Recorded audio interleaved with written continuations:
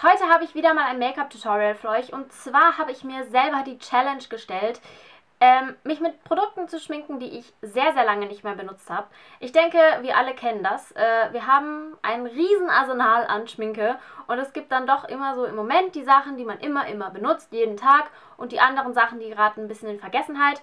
Und ich habe einen Kommentar unter einem Video bekommen, warum ich mich nicht mal mit Schminke schmink, die ich schon sehr lange nicht mehr benutzt habe. Und jetzt habe ich einfach so ein paar Sachen rausgesucht und damit diesen Look geschminkt und wieder so ein paar Schätze entdeckt, ähm, die ich sehr lange nicht mehr genommen habe. Und ähm, ja, die habe ich jetzt wieder lieben gelernt. Äh, vorweg muss ich kurz sagen, das erwähne ich im Video auch sehr oft, das Licht heute ist ganz katastrophal, weil so viele solche Wolken da sind, solche weißen Bauschewolken und die Sonne da immer dahinter geht, dann wird es wieder schnell dunkel, dann kommt sie wieder raus, dann bin ich wieder überbelichtet.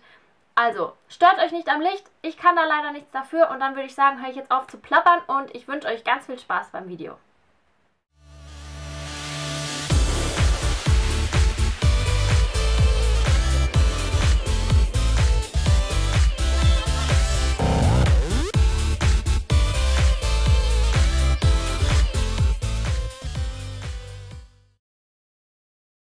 Fange an mit dem P2 Feel Natural Concealer. Ich habe den in der Farbe 010. Ich bin mir, um ehrlich zu sein, gar nicht mehr sicher, ob es den jetzt gerade überhaupt noch gibt. Ich bin jetzt eh wegen den ganzen Sortimentsumstellungen so ein bisschen verwirrt.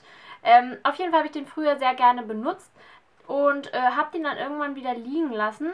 Und ähm, ja, dachte mir, ich könnte den ja mal wieder rausholen. Ähm, weil ich, ich weiß auch nicht, ich habe halt tausend Sachen und dann, ihr kennt das ja bestimmt, ne? Dann lässt man halt was wieder liegen, benutzt es tausend Jahre nicht mehr und dann benutzt man es wieder und merkt, es ist total toll und man mag es eigentlich total gerne. Ähm, ja, also ich bin jetzt mal echt gespannt, weil vielleicht entdecke ich ja wieder ein paar Sachen, die mir sehr, sehr gut gefallen. Und äh, ja, hab dann wieder was, was ich benutzen kann ohne mir was Neues kaufen zu müssen. Entschuldigt übrigens das Licht hier, ähm, das ist heute sehr wechselhaft, weil ganz viele Wolken draußen sind und äh, aber trotzdem blauer Himmel ist und dann geht die Sonne halt immer wieder hinter die Wolken und kommt wieder vor und dann ist es immer ein bisschen hell und dunkel und ja. Also, äh, der Concealer lässt sich sehr schön verblenden. Also ich weiß wieder, warum ich den ganz gerne mochte. Aber er deckt nicht so schön, finde ich, wie mein Maybelline Concealer, den ich im Moment immer benutze. Also, ähm, ich denke nicht, dass ich mir, wenn der leer ist, den nochmal nachkaufen werde. Aber ich kann ihn definitiv mal noch ein paar Mal benutzen, weil schlecht ist er nicht auf jeden Fall. So, als Puder habe ich mir meinen äh, P2 Feel Good äh, Mineral Compact Powder ausgesucht. Das habe ich in der Farbe 030 Beige Desert oder was. Und ähm, das ist schon sehr, sehr leer, wie ihr sehen könnt. Ähm, seid ihr eigentlich interessiert an einem Hit the Pan Video? Also ich äh, habe gesehen, dass ähm, ja, sehr viele äh, das ja machen Oh, staubt es. Und ähm, weil ich brauche mh, mm, Schminke sehr selten auf, muss ich sagen. Also nur wenig Sachen und wenn ja, dann dauert das immer so lange. Und werdet ihr da irgendwie dran interessiert, weil ähm, wenn ich ein Aufgebraucht-Video mache, was auch schon in Planung ist, ich sammle da auch schon für, ähm, dann wäre da halt keine Kosmetik mit drin. Also wenn ihr gerne ein äh, Hit the Pan Video möchtet, dann könnt ihr mir das gerne mal in den Infos da lassen. Ja, also das Puder ist eigentlich ganz schön, muss ich sagen. Ähm, ich weiß nur, dass das nicht so ewig mattiert, deswegen habe ich es schon eine Weile nicht mehr benutzt. Aber jetzt im Herbst, Winter kann ich das mal aufbrauchen, weil da ist man ja nicht so glänzig und schwitzt so viel und sowas. Dann, ähm, ja, könnte ich dazu eigentlich mal wieder greifen. So, wenn ihr meine Videos schon eine Weile schaut, dann wisst ihr vielleicht, dass ich früher sehr viel den Alverde Augenbrauenstift benutzt habe, wo ähm, hinten eben so ein Bürstchen dran ist zum Verblenden. Und ich habe mir überlegt, ich äh, habe jetzt in letzter Zeit sehr viel Augenbrauenpuder benutzt.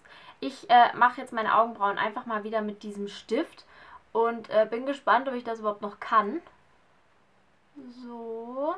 Also ich bin wirklich ein sehr großer Fan von Augenbrauenpuder und ich mag eigentlich in letzter Zeit auch ganz gerne, dass die Augenbrauen vorne so ein bisschen balkenmäßig sind. Und äh, das geht natürlich mit diesem ähm, Augenbrauenstift nicht. Und dann, damit sehen sie halt sehr viel natürlicher und sehr, sehr viel dünner aus. Aber, ähm, ja, ich weiß nicht, es hat mir eine Weile lang gut gefallen, aber ich muss sagen, jetzt im Moment mag ich einfach doch lieber dieses, ähm, dieses Pudrige und das Balkenmäßige und ja. Ich muss mir auch jetzt unbedingt ein neues von diesen Bürsten hier kaufen. Weil das hier äh, geht schon total kaputt und äh, das wäre sehr schlecht. Also ich muss unbedingt mal zum DM rennen und mir eine neue holen. Und hier lasse ich jetzt gerade meine Augenbrauen wachsen und das ist das nervigste überhaupt, finde ich. Weil ich habe das Gefühl gehabt, die sind zu kurz geraten, also zu weit äh, nach drüben. Und äh, jetzt lasse ich die da gerade wachsen. Und die wachsen da aber nur so spärlich irgendwie. Und ähm, das kann man nicht ausfüllen. Und dann sind die da halt immer leer, sozusagen. Und das sieht immer so, so wurstelig aus. Und äh, naja. Naja. So, also ihr seht, ich wische hier irgendwie viel rum. Äh, das mit dem Augenbrauenstift, das gefällt mir gar nicht mehr. Also irgendwie habe ich da kein Talent mehr für. Oder ich bin mir auch nicht so ganz sicher. Für euch sieht das jetzt vielleicht aus wie immer, aber für mich nicht. Äh, ich weiß auch nicht. Ich komme mit Augenbrauenpuder irgendwie besser klar. Ich habe auch das Gefühl, dass es das so schmierig ist. Also, ja. Entweder ich muss das wieder üben oder ich bleibe halt doch beim Augenbrauenpuder, denke ich mal. So, dann einen Bronzer. Da habe ich mir den äh, Essence Sun Club Bronzer ausgesucht. Ihr seht, da ist hier noch so ein Blush mit drin. Das habe ich aber ehrlich noch nie verwendet. Also, ähm, ja. Aber äh, diesen Bronzer habe ich früher sehr viel benutzt. Und ich glaube, da war das auch der einzige, den ich hatte. Ich habe das schon eine ganze Weile. Das ist nämlich die Farbe 01 Good Morning Sunshine. Ich glaube auch gar nicht, dass es das gibt. Oder ich weiß nicht, ob das eine LE war oder keine Ahnung, auf jeden Fall ähm, probiere ich den jetzt mal wieder aus. Vielleicht gefällt er mir ja. Ich bin mir nicht sicher. Ich weiß auch gar nicht, ob ihr jetzt mit diesem, mit diesem doofen Licht hier überhaupt dann was sehen könnt. Das ist natürlich die Frage. Also ich finde, der lässt sich irgendwie nicht so gut verblenden. Und er ist so ein bisschen orange. Also ich weiß echt nicht, wie gut das in der Kamera rüberkommt, aber der ist so ein bisschen zu orange für meinen Geschmack. Also, ich weiß nicht, gefällt mir nicht so gut. Und es ist schwierig, da was rauszukriegen wegen diesem, wegen diesem Blush, was daneben ist. Und das glitzert eben und man geht irgendwie automatisch immer so ein bisschen in beides rein. Also, ja. Und der lässt sich eben echt schlecht verblenden. Finde ich zumindest. Also, hm. War auch vielleicht eher ein Griff ins Klo. Und ein Blush, also Blushes habe ich irgendwie so viele und da benutze ich so viele, nur so unregelmäßig. Aber eins, was ich wirklich lange nicht mehr benutzt habe, ist das von Sleek. Und zwar äh, ist das die Farbe Coral. Und das sieht so aus. Also das ist so ein äh, rotbraun. Und das habe ich sehr lange nicht mehr benutzt. Ähm, ich glaube aber, dass das immer ganz schön war. Ich fand aber jetzt, ja, es ist ein bisschen schwierig, finde ich, da Farbe rauszukriegen. Ich weiß nicht, ob das vielleicht daran liegt, dass ich da mal die oberste Schicht wieder ein bisschen ablösen müsste, weil eigentlich fand ich das immer ganz hübsch. Aber es ist so, man hat das Gefühl, es wäre schlecht pigmentiert, aber die Sleek Blushes sind auf keinen Fall schlecht pigmentiert. Ich glaube, ich muss einfach die oberste Schicht mal wieder ein bisschen abwischen. Aber eigentlich finde ich, sieht das ganz hübsch aus. Also das könnte ich auf jeden Fall mal wieder benutzen. Das gefällt mir eigentlich ganz gut, muss ich sagen. Also ihr seht, es gibt eigentlich ganz schön Farbe ab und gibt so einen recht natürlichen Teint. Das sollte ich mal wieder öfter benutzen. Und gerade jetzt so im, im Herbst finde ich es eigentlich ganz hübsch, so ein bisschen mehr orange, nicht so, nicht so rosa. Außerdem hat es keinen oder nur ganz wenig Schimmer, also nicht so übertrieben glitzerig. Finde ich jetzt so für den Herbst eigentlich, ja, ganz hübsch. So, weiter geht's mit Lidschatten. Ich habe jetzt mal so ein bisschen durchgeschaut und habe zwar ein paar einzelne Lidschatten, die ich vielleicht wenig benutzt habe, aber ich habe eine Palette, die habe ich wirklich sehr lange nicht mehr benutzt. Und zwar ist das meine BH Cosmetics Palette. Die habe ich auch in meiner Schminksammlung mal ganz kurz gezeigt und ähm, ich dachte mir, wow, ich bin ein bisschen weiß. Ähm, ich muss da einfach mal wieder ein bisschen näher drauf eingehen, weil die ist wirklich toll. Und diese BH Cosmetics Paletten, die sind eigentlich echt richtig schön und ich habe einfach echt viel zu wenig erst damit gemacht. Also ich habe die 120er Palette, das ist die dritte Edition. Und da ist einmal ähm, so eine sehr farbenfrohe Palette drin. Ähm, mit, ich glaube, ja, 60, 60 so bunten Tönen. Da sind matte und auch glitzernde Töne dabei. Und dann ist unten drunter nochmal eine Palette mit 60 mehr so erdigen Tönen. Also Blautöne, Brauntöne. Und da ist eigentlich echt alles dabei. Da sind auch wieder matte und schimmernde dabei. Und wenn man diese Palette hat, dann hat man echt viele Farben. Und diese Farben sind wirklich von guter Qualität und sie sind sehr schön pigmentiert und ja, ich äh, weiß gar nicht, warum ich die so wenig benutze. Ich glaube, weil es mir einfach zu umständlich ist und weil man so ein bisschen überfordert ist, welche Farbe man nehmen soll. Deswegen dachte ich mir, ich schminke jetzt mal wieder damit was. Ich glaube, die konnte man neulich auf Mia Cosa bekommen. Ich weiß aber, dass ich meine über Amazon bestellt habe. Ich ähm, suche mal den Link raus und poste euch den unten in die Infos, falls ihr daran Interesse habt. Die kosten so um die 20 Euro und 20 Euro für 120 Farben ist definitiv nicht viel. Ich hole euch jetzt mal näher rein, damit ihr auch was erkennen könnt. So, also ich fange an mit dieser ähm, eher erdigtönigen äh, Palette und ähm, nehme jetzt mal, hm, was nehme ich denn? Hier dieses äh, Graublau.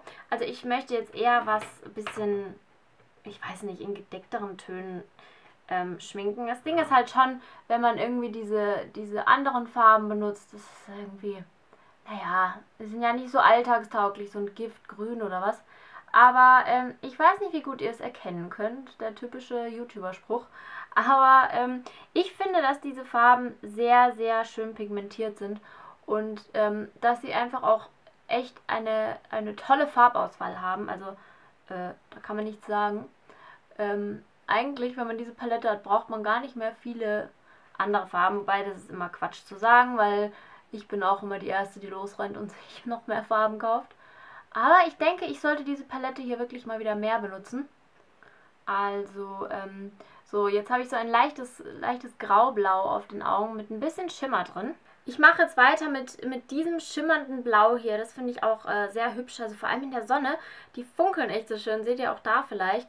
Ähm, aber jetzt nehme ich mal das hier, um das Ganze ein bisschen noch zu vertiefen. Ich sag's euch, das Licht, das macht mich heute echt irre. Also, und dann liegt hier noch die Katze auf dem Schreibtisch. Ich habe echt überhaupt keinen Platz, um irgendwas zu machen. Und dann ist das Licht noch so mies. Aber egal. Also ihr seht vielleicht, äh, das ist auch eine echt schöne Farbe. So, um das Ganze ein bisschen smokiger zu machen. Also, ich verstehe wirklich nicht, warum ich die so lange nicht benutzt habe, diese Palette. So, also so könnt ihr mal vielleicht ein bisschen was erkennen.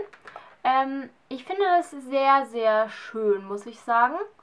Äh, und ja, also da kann man doch echt sich nicht beschweren. Ich werde das Ganze jetzt noch ein bisschen verblenden und werde dazu einen diesen Ton hier nehmen. Das äh, ist so ein blau Türkis und hat aber so ein bisschen goldenen Schimmer drin. Seht ihr das? Und das finde ich wirklich sehr, sehr hübsch. Also äh, damit werde ich das Ganze jetzt mal ein bisschen verblenden. Und mal gucken, was dann passiert. Also das ist echt toll, weil dieses, diese bisschen helle Farbe ähm, geht irgendwie sehr schön in das Dunkle über und hinterlässt noch so einen goldenen Schimmer. Also das ist echt hübsch. So, und jetzt ähm, möchte ich aber das Ganze hier, ich finde, das ist jetzt noch sehr eintönig, also so mh, mm, noch nicht so dreidimensional. Jetzt möchte ich das Ganze noch vertiefen und nehme dazu hier noch dieses ähm, Grau, Schwarz, Silber mit irgendwie so ein bisschen holographisch schimmernden Partikeln drin, habe ich so das Gefühl. Und gebe das nur so hier in den Außenwinkel. Und was mir auch auffällt, es krümelt nicht hier runter. Also das ist auch echt toll. Ähm, dass es nicht so ganz puderig ist, aber sich trotzdem echt schön, also man kann trotzdem schön Farbe auf dem Pinsel aufladen.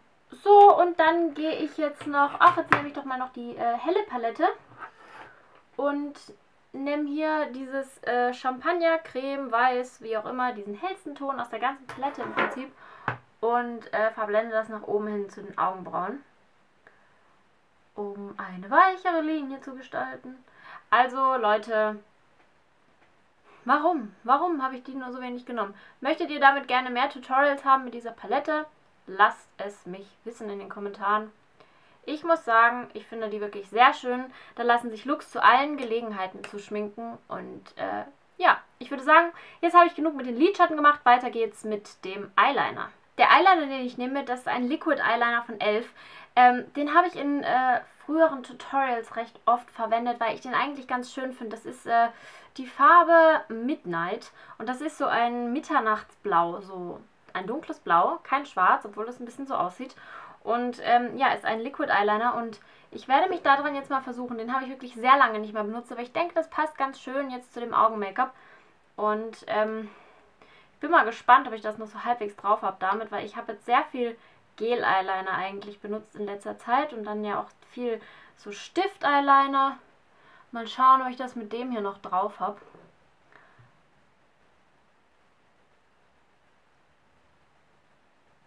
Ah. Ui. Der Eyeliner hat jetzt unten so einen komischen Zacken gekriegt. Nicht so hübsch. Aber naja.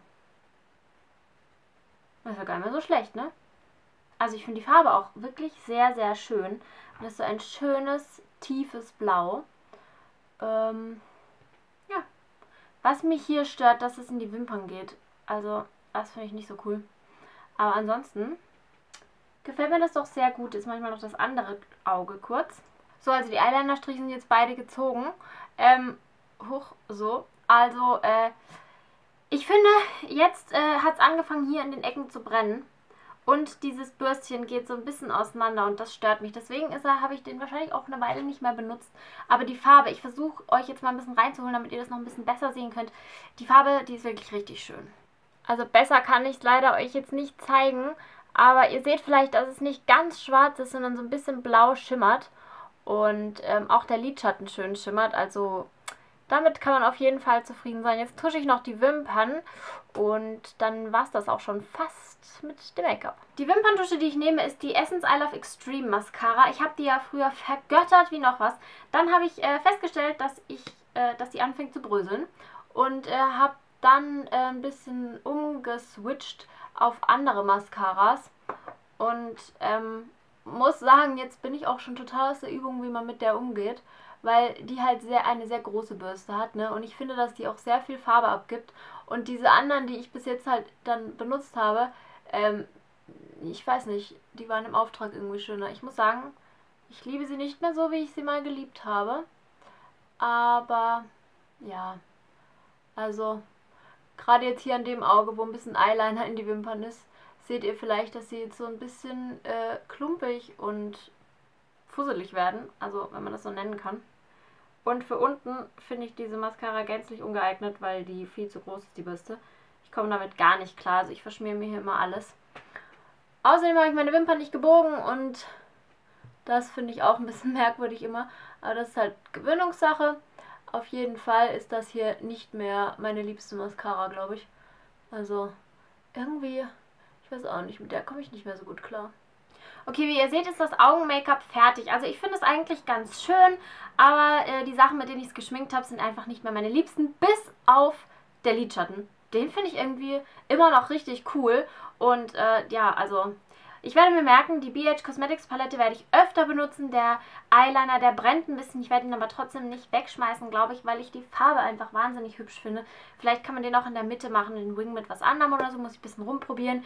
Die I Love Extreme Mascara kann ich mir gut vorstellen als erste Schicht und dann noch mit einer zweiten Schicht, die die Wimpern ein bisschen mehr trennt, drüber.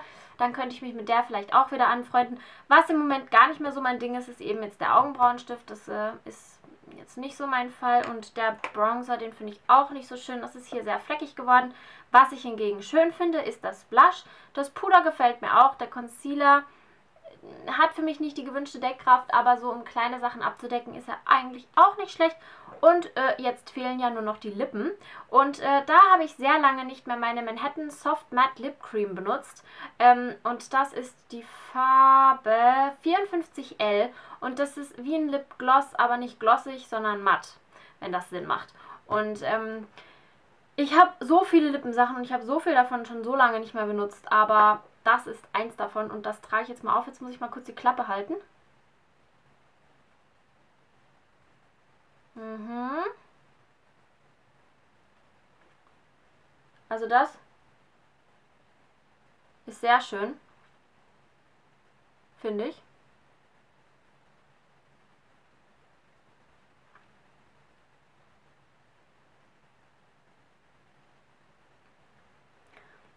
So, also die lassen sich sehr, sehr schön auftragen. Die sind sehr äh, weich, so mh, mm, ein bisschen wie so seidig und ähm, die sind so, so geschmeidig, gehen die auf die Lippen irgendwie.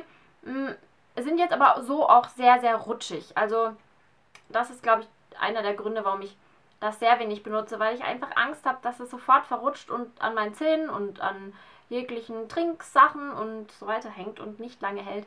Aber ich finde, so jetzt zu diesem Look sieht das äh, sehr schön aus, eine sehr schöne Farbe. Und dadurch, dass das matt ist ähm, und nicht so glossig, sieht das aus, als würde es sehr lange halten. Aber ich glaube, es hält leider nicht so lange.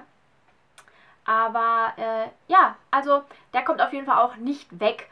Ähm, ich, äh, ja, ich finde die Farbe einfach so schön und die, das Finish, das der hinterlässt. Das Gefühl ist nicht so cool, weil es jetzt so glitschig ist. Aber so vom Aussehen finde ich das doch sehr, sehr hübsch, muss ich sagen. So, also das ist das fertige Make-up. Ähm, ich habe wieder so ein paar Schätzchens entdeckt, muss ich sagen. Dazu gehört auf jeden Fall das Blush und äh, auf jeden Fall die, ähm, die Lidschattenpalette. Das war, was ich sagen wollte. Und ähm, die Farbe von diesem Lippending hatte ich auch nicht so schön in Erinnerung. Also es lohnt sich, man sieht, ähm, mal wieder alte Sachen auszuprobieren. Was mich jetzt natürlich interessieren würde, was ist denn was, was ihr schon ewig nicht mehr benutzt habt? Also äh, lasst mir das auf jeden Fall mal in den Kommentaren da. Habt ihr auch sowas, was ihr irgendwie eigentlich mal gut fandet und dann ewig nicht mehr genommen habt und dann gemerkt habt, hey, das ist eigentlich ganz cool? Und äh, ja, wenn ihr Lust habt, dann können wir jetzt draus eine Challenge machen. Jeder von uns schminkt sich jetzt mal hin und wieder oder ein bisschen öfter mit Sachen, die er gar nicht äh, mehr benutzt, beziehungsweise lange nicht mehr benutzt hat. Und wenn man merkt, man findet es blöd, dann wandert es in den Müll weil da ist es doch besser aufgehoben als äh, im Regal. Ansonsten blockiert es nur alles. Und ähm, ja, dann war es das jetzt eigentlich auch mit dem Video. Ich hoffe, dass es euch gefallen hat und vielleicht irgendwie euch dazu angeregt hat, eure alte Schminke mal wieder zu benutzen. Und dann würde ich sagen, wir sehen uns das nächste Mal wieder. Ciao! Ich wollte doch jetzt hier ein Video drehen, Mensch. So sieht's aus, wenn ich übrigens ein Video drehen will. Dann legt die sich da erstmal hin. Ja, ne? Schon wieder viel zu hell. Ah.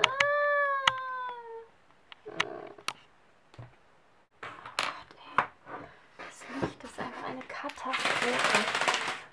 Ähm. Oh, das Licht, das macht mich verrückt.